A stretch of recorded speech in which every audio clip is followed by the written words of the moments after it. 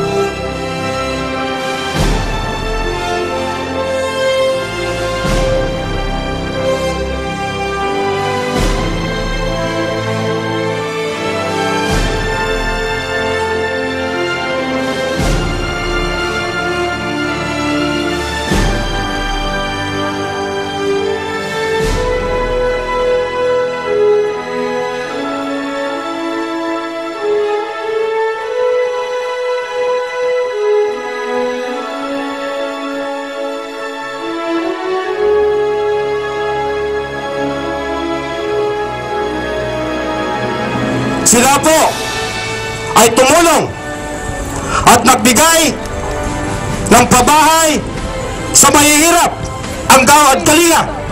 Tapos workers ay nagagawa nila.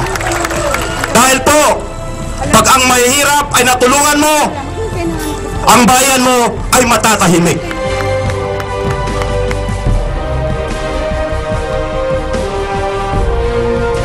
This is not just about writing a check and giving money. This is also, more importantly, about sweat equity and volunteerism. na itong uumpisahan namin ito, dapat naming tapusin. Kung, kaya, wag na kami magpakita sa Diyos kung hindi namin matatapos itong lahat ng bahay nito. Maraming salamat sa iyo.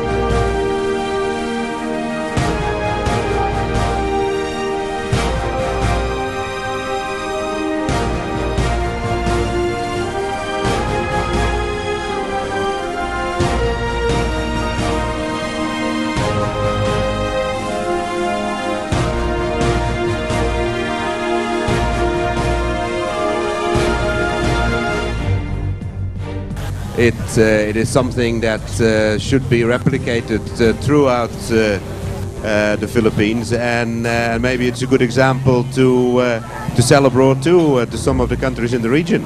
Clearly, you know, I think it's um, it's its attitude to helping people, both as I said earlier, spiritually and materially with their lives, is uh, it's a very inspirational movement.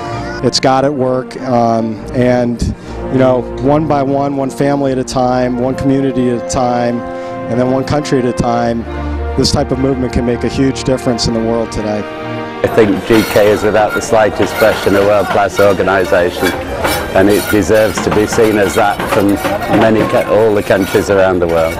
kanami gali kun kun imo na gid balay bala nga mabatyagan mo sa imo gulingon nga matawagan na gid sa imo bala nga.